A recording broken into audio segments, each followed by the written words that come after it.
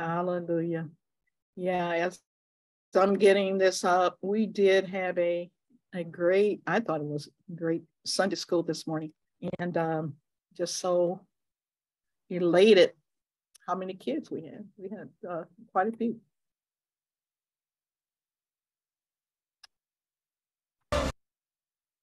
Okay. All right. And I wanted to share that one song by Ron Kenoly about the glory of the Lord because it's what we will be talking about today the glory of the Lord.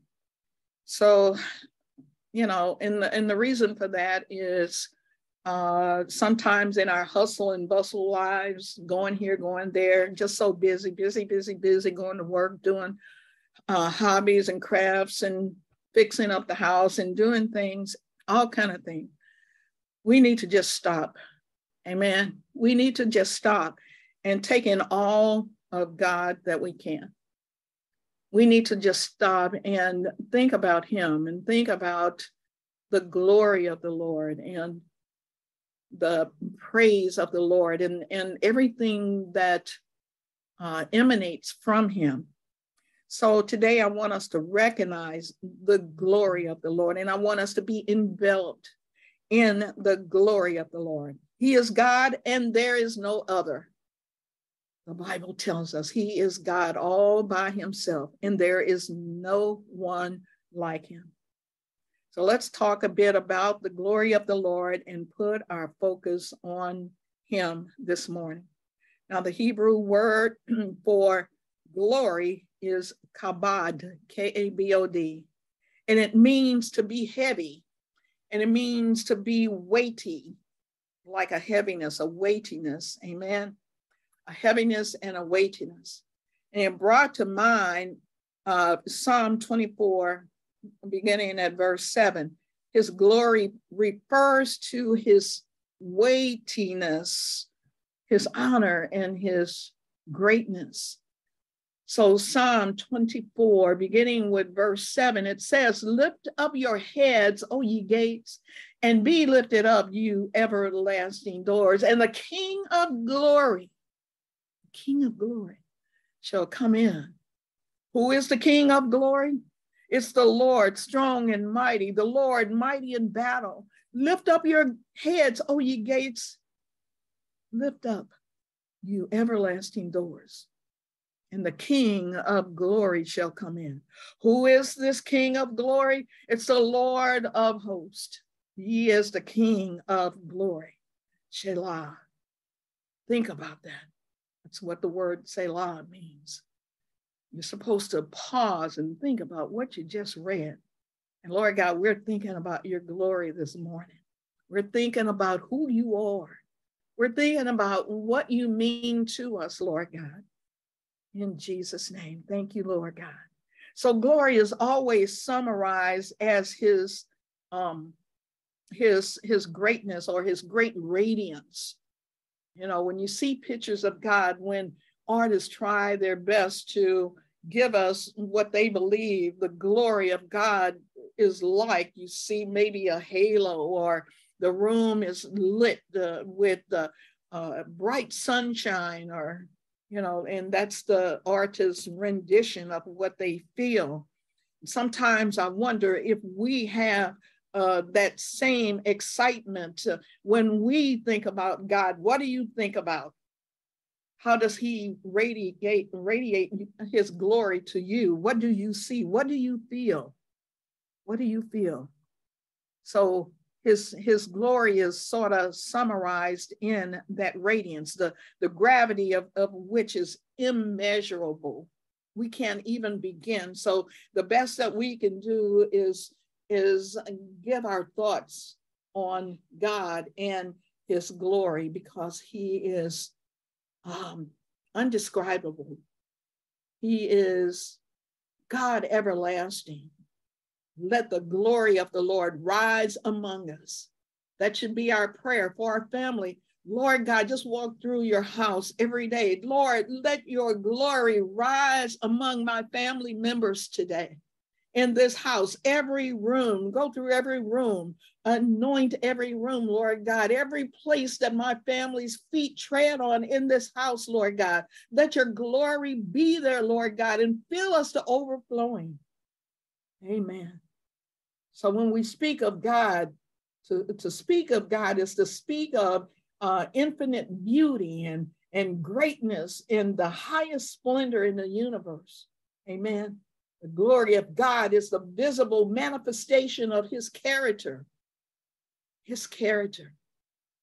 Everything about him is glorious, magnificent, immeasurable. Now, the Hebrew name for God is in the Bible, and it's Yahweh. Yahweh, I know you've heard and seen and used that word yourself when you talk about God. And what that means is he brings into existence whatever exists. And he told Moses at one point, I am who I am. I am who I am. He had given Moses instructions to go back to the people. And Moses said, Who am I to tell them who sent me? And he said, Just tell them I am sent you. In other words, he was saying, Whatever you need me to be, I am. Whatever you need me to do, I'll do. You're my children, and I hold nothing good from you. So that name, that Yahweh, the name came uh, to be regarded as too sacred for the Hebrew people to even be spoken. And when they would write it, they would take out the the the uh, the vowels and they would spell Yahweh Y H W H because they thought that the name was even too holy for them to speak in its fullness or to write down. So the name Jehovah is the same name based on a, the Latin equivalents. Amen. So in the Latin, it's in the Hebrew is Yahweh. In the Latin is Jehovah. So since God is spirit, according to uh, John 4 24, human eyes cannot see him, they can't behold him directly, right? Sinners would be consumed by God's holiness and, and they would suffer instant death due to their sin if they would behold God's majesty. In Exodus uh, 33 30, God said to Moses, He said, You cannot see my face, for no man can see me and live. Remember, Moses had to, uh, God had to turn his back, and all Moses saw was the backside of God. You cannot look at God and live. Amen. So, in order for God to reveal himself to us, he must communicate his manifold perfections to us, his creatures, through his visible glory. what is his glory? How does he do that? But when we look at nature, when we look at the universe, when we look at the stars and the moon and the and the sun and everything that God put in this universe for us to enjoy, He is saying, This is my glory, and I give it to you. I give it to you. When I have the sun to rise every morning, remember me. This is part of my glory that I give to you. This is part of my glory.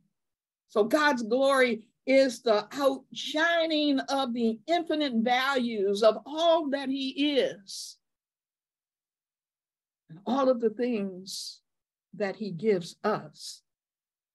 So, in our future heavenly city that uh, Revelation talks about, in that city, in the new heaven and a new earth, there is no need for the sun or the moon. Remember, because the glory, the glory of God has illuminated it. And its lamp is the Lord. That's in Revelation 21. So the sun and the moon and the things that we have here on planet Earth is for humanity now. But when we are in that heavenly city, the glory of God radiates so much, there won't even be a need for the sun and the moon because his glory is so bright and so perfect. That's all we would need. Amen. The prominence and the, and the radiance of God's glory go hand, hand in hand. When God appears, the pure and the perfect character of God is manifested in the blinding white light of his radiance. All we can do is try to have our mind's eye to see what we think it's like based on what we know about earth. We don't know about heavenly things. So when we talk about the glory of, of, God, we talk about maybe the brightest light that we've ever seen, or, or uh, you know, uh, the fireplace brightness on a when you light the fireplace in the wintertime and the light is so bright. So we have to use earthly things to help us to understand heavenly things and especially God. Amen. We have to do that. He says, I am who I am. He's a lot of things all rolled into one. The glory of the Lord is infinite, and it's great, and it's unsearchable. There is no one, and there's nothing like it in the entire universe. No one compares to God, to our God. It is a foolish person that will not give their life to the creator of this world and the one who holds every breath that they take in his hand. It's a foolish person who would turn from the living God and turn to the gods of this world as their hope. There is no hope in them. It's a foolish person that would jeopardize their salvation with the false gods and idols of this world. I am who I am. Mere words to describe his greatness are, very sadly inadequate. We try, but they're inadequate. So, how does one describe the the, the grandeur and, and, the majesty of an all powerful, all knowing, all glorious, infinite being like God. He is beyond our comprehension and our ability to convey his greatness in words. Even the most perfect words of scripture are a limited expression of his glory. All we can say in response to the glory of God is who is like unto them, to thee, O Lord, among the gods? There's no one or nothing. So, like Job, in the book of Job, in, in chapter 40, uh, he, uh, we put our hands to our mouth and we cry, Behold, I am insignificant. What can I reply to you, O God? Job had a realization at a point in his life.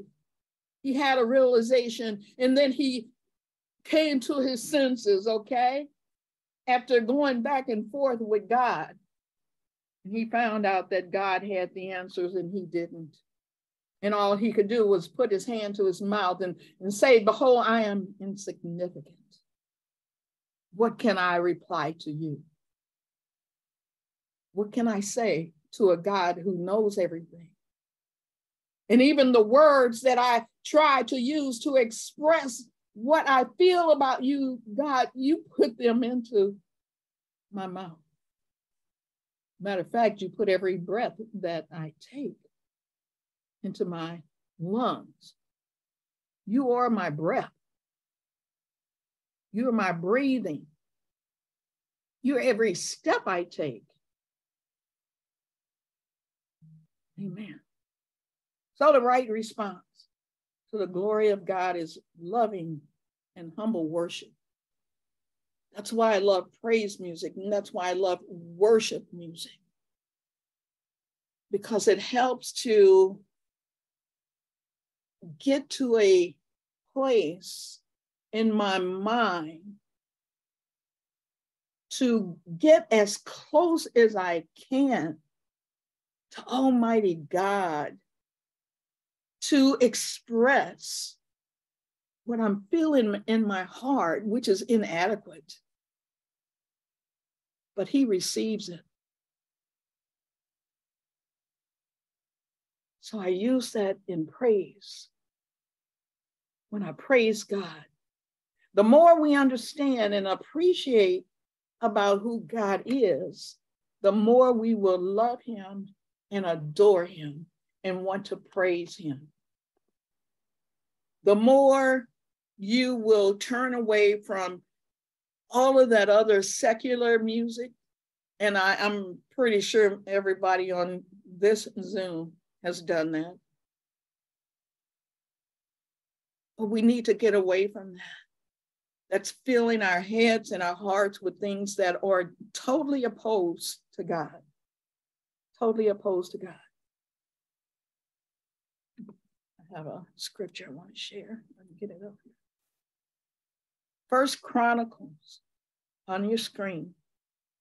First Chronicles 16, 28 and 29 says, Give to the Lord, O families of the people, give to the Lord glory and strength. Give to the Lord the glory that's due his name. Bring an offering and come before him. Oh, worship the Lord in the beauty of holiness. In the beauty of holiness. Psalm 29 2, two versions. The first one is New King James. Give unto the Lord the glory due his name. Worship the Lord in the beauty of holiness. And the ESV, ascribe, it uses the word ascribe to the Lord the glory that's due his name and worship the Lord in the splendor of holiness. There is a splendor, there is a beauty of holiness that we invoke into our presentation of our love to him. We ascribe to the glory of God through the splendor and the beauty of holiness. Amen. What is it, scribe? It's an attribute, it, uh, uh, attribute of something. Regard, a quality of belonging to, mm-hmm. to assign, to credit, to give, or to count. And, and so to ascribe or to give to the Lord the glory due his name means to see, to understand, to acknowledge the glory that God already has. Amen. We're saying, God, we see it. God, just give as much of that glory in our presence as possible. And we give it back to you in our praise. And that's the way that works. And what does the beauty of holiness mean? the beauty of holiness. The Hebrew text is actually better translated as adornment. So in ancient times, the priest were instructed to wear a particular set of garments for their work in the temple. They didn't wear their uh, regular priestly outfits. They had to wear special clothing to go into the Holy of Holies to go into the temple. Now, those garments were set apart, they were holy by their craftsmen for this purpose. They put a lot of detail, they prayed over them, they gave them to the Lord, they anointed these things. And so when the priest would put them on and go into the Holy of Holies, what the priest was actually saying is God, I'm giving you my best when I come before you to praise you, to talk to you. I'm not bringing the street in with me. I'm bringing glory. I'm bringing lovely things. I'm putting on this special clothing. And I'm, I'm hoping that you see that I'm trying to do my best, Lord God, to show you that I love you so much that I give you my best. I'm giving you my best. The priests were, they were required to wash their bodies before and after wearing these special clothing. They took their time before God very, very seriously. So the key here is, is not the garments themselves, we know that, but what they represent. So everything that we do, Sharina did a lovely presentation this morning about modesty, which is holiness. And that's for men and women. It used to be just the women. Now it's the men and the women. And when we put on our best and when we dressed our best, we're we're we're telling God, God, I'm doing this not just for me, but I'm doing this for you because I know it pleases you. I know it pleases you. Now, I want to share a couple of things. We are called to worship Him in the beauty of holiness. We're called to worship Him in the beauty of holiness. So, again, this is not just lip service or empty praise. We are called to put that love into action in our daily lives. We are to continually praise him and to tell him about his salvation. We are to proclaim his righteous judgments. Everybody, not just our fellow believers. It's like what they call preaching to the choir. So, after all, a life of devotion is the only acceptable sacrifice for everything that he's done for us. That's all not that he's asking us to pay him back, because there's nothing on this earth that would satisfy the amount of blessings that he has given us. All he wants is worship. All he wants is praise. So we're called to worship him in the beauty of holiness. Holiness is making, preparing ourselves to face God.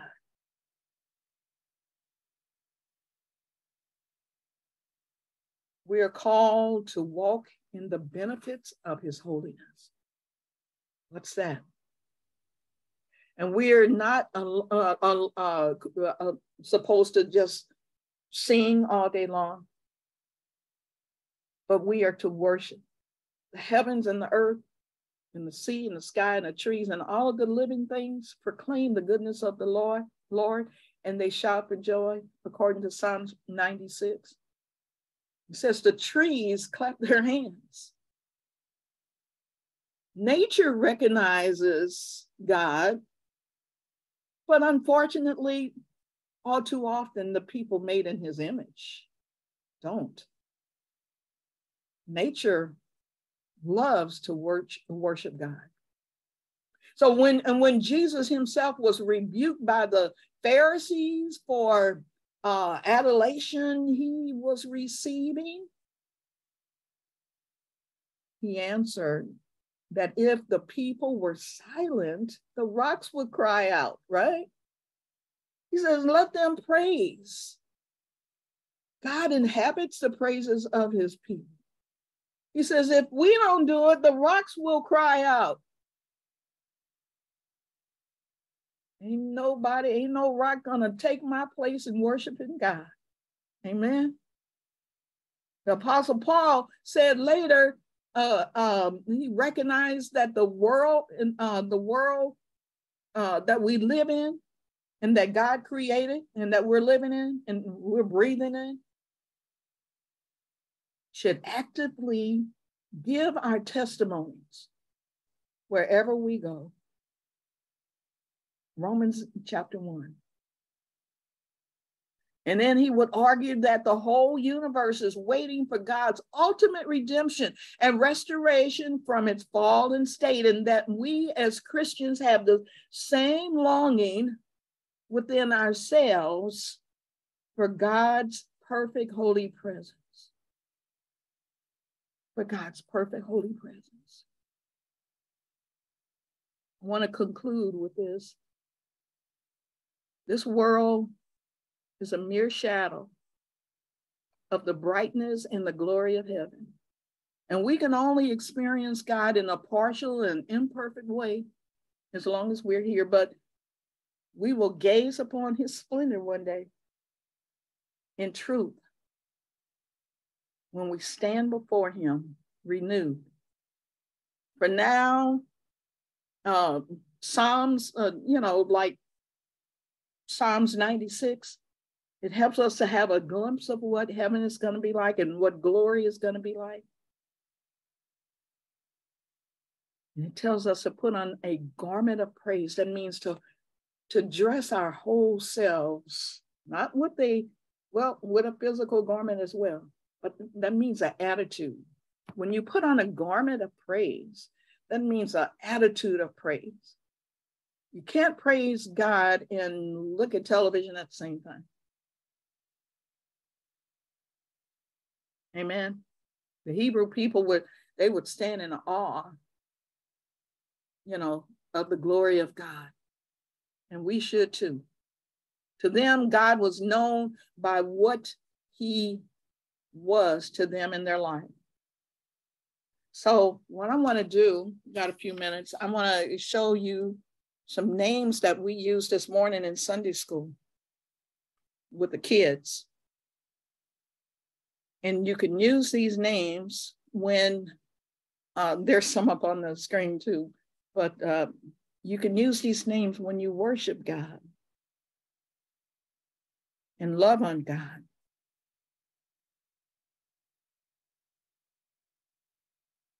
He is the Alpha and the Omega. The be- that means the beginning of and the end. The chapter for that, where you find that name for God, is John chapter 1. Christos. This is actually a name for Jesus. The first one was too, Alpha and Omega. Um, 1 John 4 2. This means the anointed one the anointed one. El Roi. El Roi. El, of course, is a general name, a generic name for God. All religions use El, but you, you're saying El, and then you're using the uh, second word to describe God sees. Roi means sees, so God sees. Scripture for that is, is Genesis 16 13. Jehovah Rapha. Jehovah Rapha, that means the Lord is our healer. How many needs a healing today? Call on Jehovah Rapha. Read Exodus 15. Call on Jehovah Rapha. That's what the Hebrew people did. God was known by what he did in their lives. Jehovah Sabbath, the Lord of hosts, the Lord over everything and everybody. 1 Samuel 17 45. Jehovah Shabbat. Jehovah Shalom. The Lord is peace. The word shalom means a lot of things or more things in, in the Hebrew language. It means good morning, good afternoon, hello, goodbye, how are you, have a good day. That word covers a lot. And it also means peace. So um, when you see two Jewish people, Hebrew people uh, walking by each other, shalom, shalom, have a good day, shalom. And uh, they're wishing them, each other a good day. or good evening or goodbye. Shalom. Judges 6, 23, 24. Jehovah Nisi, the Lord is our banner. Exodus, he covers us. Exodus 17, 8 through 15. Jehovah Tsidkenu, the Lord our righteousness. The Lord our righteousness. That's found in Hebrews 12, 14. Jehovah Tsidkenu. Atiya Yolim, um, the Ancient of Days, referring to the Lord was here before anything was, and he will always be here. He was there, he has no beginning and no end. Isaiah 46, 9 through 10. And so the Hebrew people would call him the ancient, the old one of many days, the ancient of days. Elohim means the creator. We know God to be the creator of the universe. And not only the creator, but he's the sustainer. I told the kids this morning, he keeps the moon in its place, the sun, the stars. You know, if he didn't, we might find a star in the backyard, but he holds all of the stars, billions of stars, in their place. Genesis 1. Here is Jehovah Jireh. I think everybody knows that because there's so many songs with Jehovah Jireh. That means my provider. The Lord our provider. That's in Genesis 22. Abba, Abba. That's the equivalent to, in our language, daddy. So I've got father up there, but it's really like daddy. When we address uh, God, you know, when we talk to him, talk to him like you would your dad.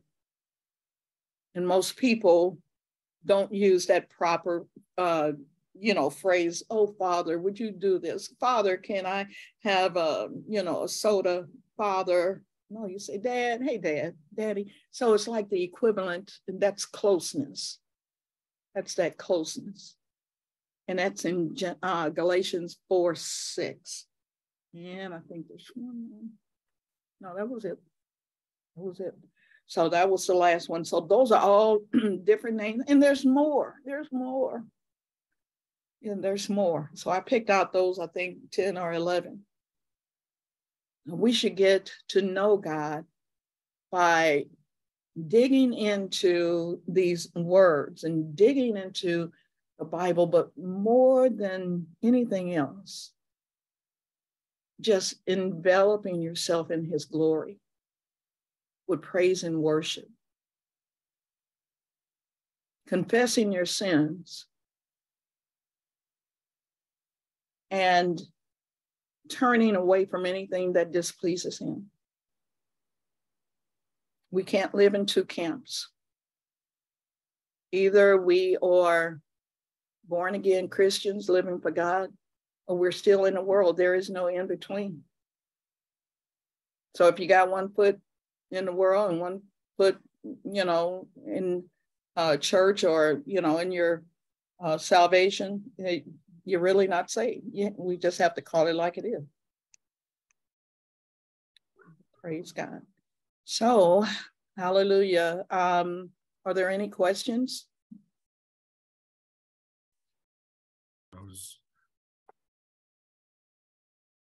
Okay. Well, I'm praise the Lord. I'm going to turn it over to the deaconess. Stop recording. Oh, okay. And because uh, we we have communion today. Sister Joyce, Sister Yes. Yes, I'm on here. God bless. God bless everyone. And we're getting to take communion. Now we ask if you knowingly are sinning and uh, committing sins that you not take communion